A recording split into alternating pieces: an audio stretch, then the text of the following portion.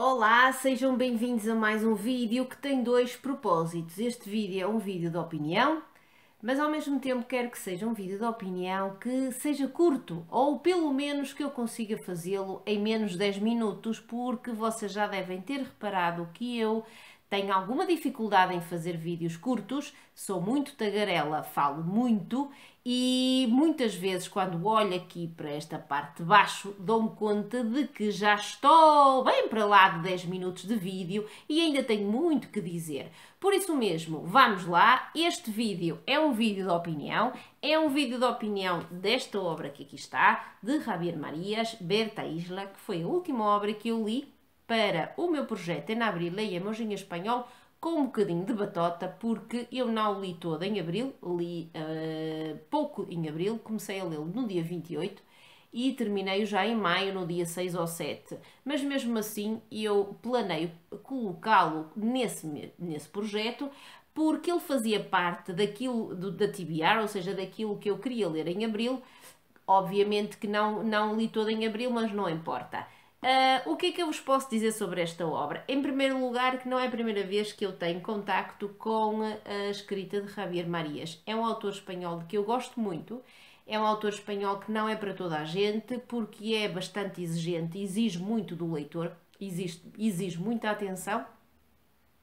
Atenção essa que às vezes se perde com muita divagação da parte de, do autor barra narrador, mas é um autor de que eu gosto muito, é um autor muito, é, é, escreve com muito cuidado, com muito rigor, é, com muito primor, como disse o Hugo num, num dos vídeos que ele deixou uh, há pouco tempo no, no canal dele, e é um autor que verdadeiramente merece da parte do leitor muito respeito e muito prazer em lê-lo. E eu tenho, e eu sinto esse respeito e sinto esse prazer em ler as suas obras, porque esta foi a quinta obra que eu li dele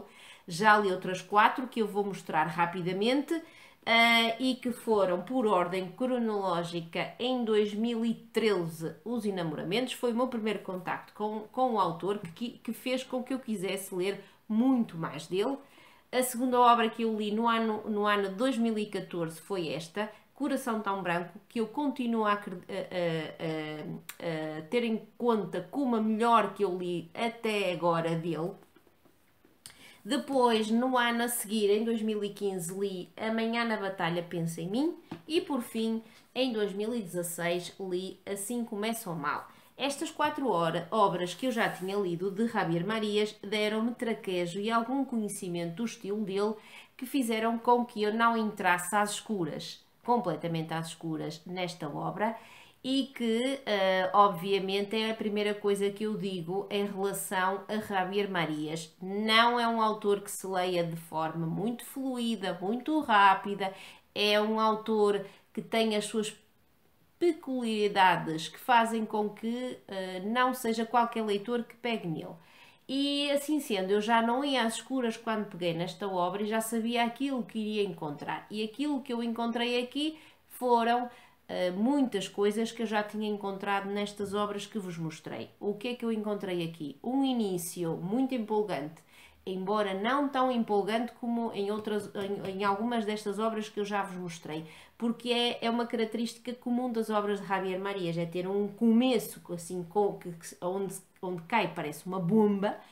que nos deixa completamente atarantados e que queremos saber o, o, como é que aquilo aconteceu, o porquê daquela bomba. E aqui encontra-se de uma forma mais não tão evidente como em outras obras, como eu disse, mas encontra-se. E depois temos uma narração, uma narrativa que dá primazia não à ação como a maior parte das obras que nós lemos dá, mas dá primazia a outros aspectos, às reflexões, às divagações, aos pensamentos das personagens e, claro, do narrador barra autor, porque eu acho sempre que isto tem uh, tudo a ver com aquilo que é Javier Marias como autor. E é isto que nós temos aqui. Temos uma narrativa que se centra num casal de jovens espanhóis, Berta Isla, como está aqui, é uh, uh, uma das uma de, é a mulher que faz parte desse, desse casal, o rapaz ou o jovem chama-se Tomás Nevinson e eles os dois casam muito jovens. Uh, Berta Isla sempre teve na mente de que iria casar com Tomás e assim o fez, mas depois o casamento é tudo menos aquilo que eles estavam à espera por muitas e variadas razões, mas sobretudo por causa de alguma coisa que acontece a Tomás antes do próprio casamento. E aquilo que nós temos aqui é, é uma, uma ação que vai desde os anos 70 em Espanha até ao final dos anos 90, século XX, mas que não, não, não se debruça apenas em terras espanholas, temos também uh, Inglaterra e, isso, e aí vê-se muito Uh, o facto de Javier Marias uh, estar uh, como autor muito influenciado pelas, pela literatura inglesa e não só. Temos aqui muitas citações de obras de, da literatura inglesa, como de Shakespeare, mas também temos de obras clássicas do século XIX francês, e tudo isto compõe uma obra que, como eu disse, não dá primazia à ação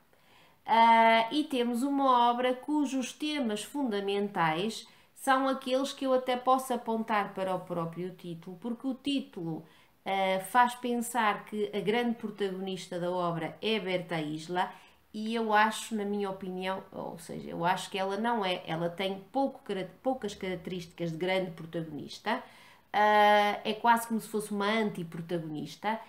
e, mas uh, aquilo que faz com que nós pensemos que Berta Isla é, na verdade, a grande protagonista da obra tem muito a ver com os temas fundamentais que aqui estão e que estão associados aqui a enganos, ao engodo, que é uma palavra que eu adoro, ao ardil, que é outra palavra que eu, que eu adoro, e, e uh, ciladas, a tudo isso que faz com que eh, muitas vezes nós não tenhamos controlo sobre a nossa vida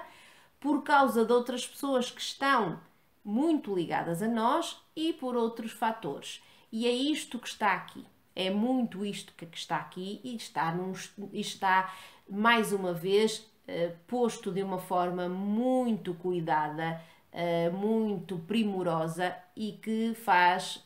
com que eu mais uma vez faça uma vénia a Javier Marias, porque é um escritor fabuloso, um eterno candidato ao Prémio Nobel da Literatura e que eu pretendo continuar a conhecer.